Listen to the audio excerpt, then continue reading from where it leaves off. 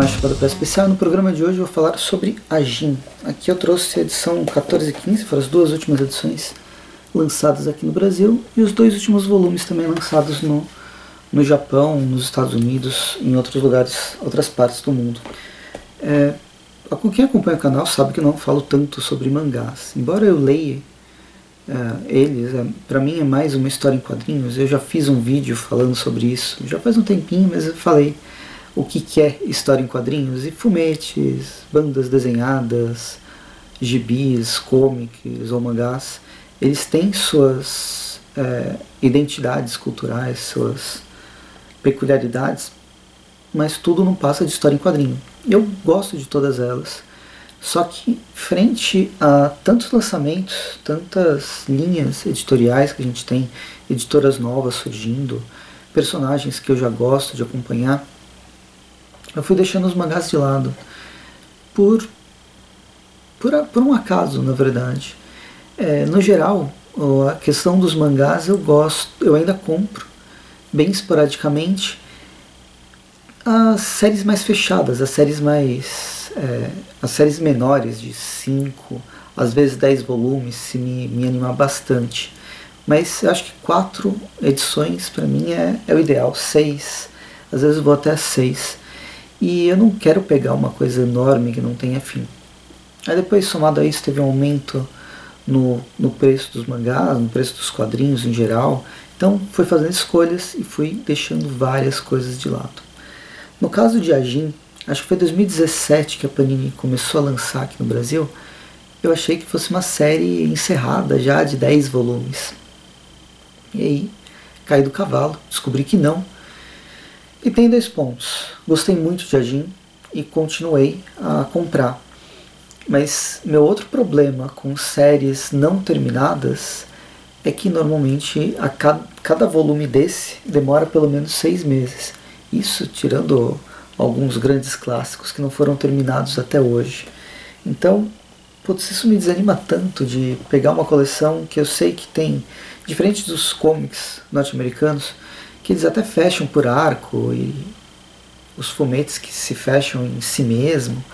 Os mangás, eles têm eles têm uma longevidade definida, de certa forma. Alguns não, mas de certa forma uma longevidade definida, onde não vai ter um reboot que vai começar do zero. É, existe um, um norte onde as histórias seguem até chegar nela e terminar e fechar tudo. Então, é, tem uma certa necessidade de, de completude. Se você não completar o mangá, vai faltar alguma coisa.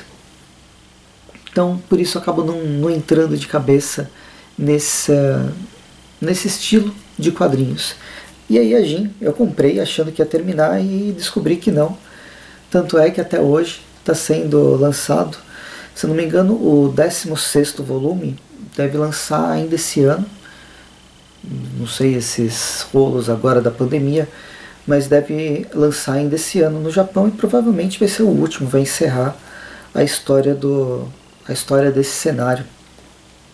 Mas isso quer dizer que só no final do ano do ano de 2020 ou 2021 que a gente vai ver o próximo encadernado aqui no Brasil. Mas enfim, felizmente está acabando. Só para dar uma, uma contextualizada, a linha de mangás eu comecei a comprar da mesma forma que os quadrinhos. Foi inspirado nos desenhos animados. Comecei com foi Cavaleiro Zodíaco, que era da Conrad, e depois Samurai X, que foi o Rurouni Keishin, que era da da JBC. E aí comprei várias coisas, eu tenho vários vídeos sobre isso. Mas enfim, o que, que se trata de Ajin?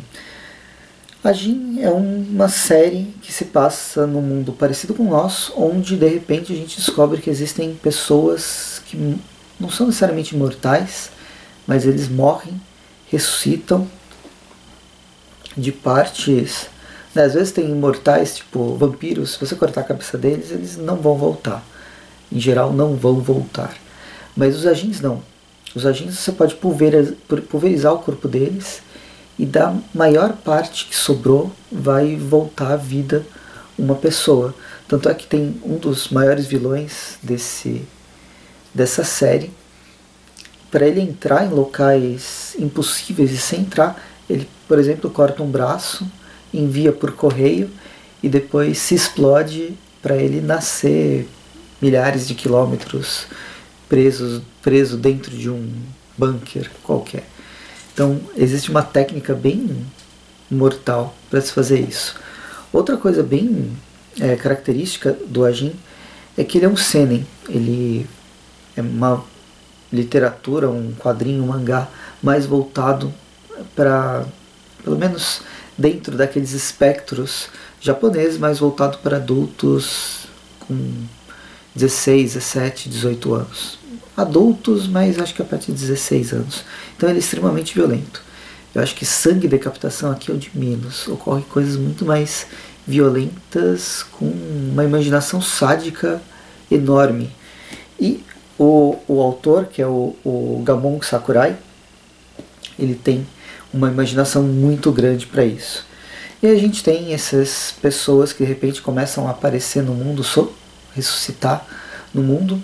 Eles, além disso tudo, é, tem uns espectros que eles dominam, que são essas múmias bizarras e com várias formas, que são entidades praticamente também entidades praticamente mortais, invulneráveis, e se bem controladas, elas são uma arma extremamente mortal.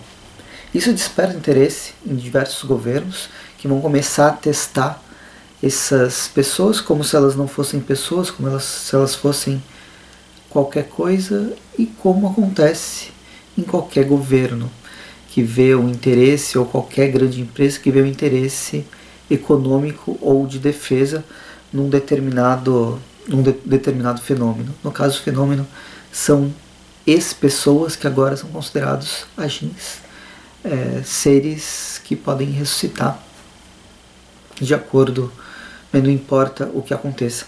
A melhor forma de prender eles ou de eliminar eles é prendendo num local onde eles nunca mais vão conseguir fugir.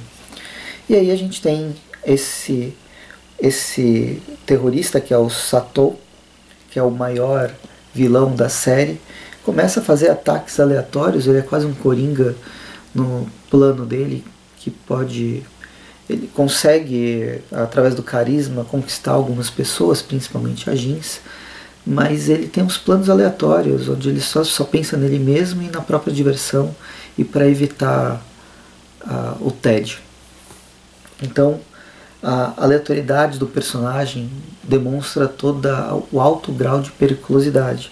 E aí se forma um grupo de agins para, invariavelmente, lutar contra o Sato, eliminar essa ameaça e talvez é, criar um mundo onde agins e humanos possam viver pacificamente. Tem muito de X-Men, embora com um nível de sanguinolência muito maior. É uma série assim, é, que eu achei bem divertida. Cada é uma série de sobre, com elementos sobrenaturais, mas essencialmente de ação.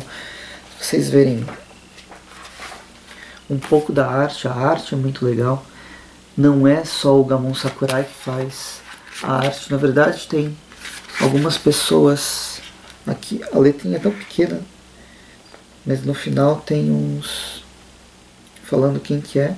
O Masakiko Masaki Kou que faz a arte final e o Sawano Soyo de outras, de outras partes.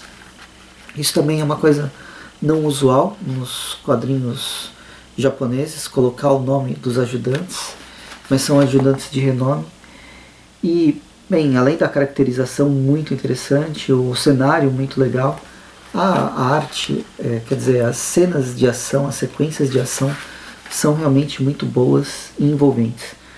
Existem vários, várias cenas de diálogo que são muito boas, estabelecendo o, o mundo, né, o universo e as discussões políticas desse, desse cenário. Mas quando o, o roteirista e os desenhistas aqui começam a criar cenas, sequências inteiras de ação, elas são muito legais. E não é à toa que a Jin ganhou uma, um live action depois teve uma série de ovas, né, de longas metragens animados e também longa, uh, longas metragens, uma série live action, uma série animada tem duas temporadas e as duas estão no Netflix. Não sei se tem uma terceira que não foi para Netflix ainda. E eu ainda não assisti nenhuma dessas outras produções, porque eu quero finalmente terminar a Jin sem ler nenhum spoiler, terminar a série, né, que já são 16 volumes. Eu estou mostrando só esses dois porque as outras edições elas estão, elas não estão aqui em casa. E eu quero terminar essa história da forma mais sem spoilers possíveis, possível, lendo elas em quadrinhos. Depois eu vou atrás do live action, vou atrás da série animada, que, bem, se tem toda essa ação, todas essas sequências muito interessantes, como elas são construídas, acredito que as sequências, ver elas no, numa plataforma que demonstra movimento, literalmente, deve ser muito, deve ser muito legal. Mas isso, esse é um vídeo que eu queria falar sobre a. Espero que vocês tenham gostado do vídeo, curtam o vídeo, assinem o canal, assinem o Chapéu do Presto no Facebook e falem, vocês já leram, não leram, gostam de alguma série, estão acompanhando alguma série de mangá ou não estão acompanhando, comentem aqui nos comentários. A Gin é possível comprar tanto no site da Panini, é em bancas ou na, na Amazon. Geralmente eu compro na Amazon, porque eu, principalmente o valor está aumentando e na Amazon tem, vez ou outra, tem uma promoção esse último, inclusive, eu comprei em pré-venda e estava com 20%, eu dei sorte, mas nem sempre isso acontece. Mas de qualquer jeito, compre na Amazon pelo link aqui embaixo, vai ajudar bastante o canal. E a gente se vê no próximo episódio. Bem, comentem aqui, a gente começa os comentários, até mais e bons quadrinhos.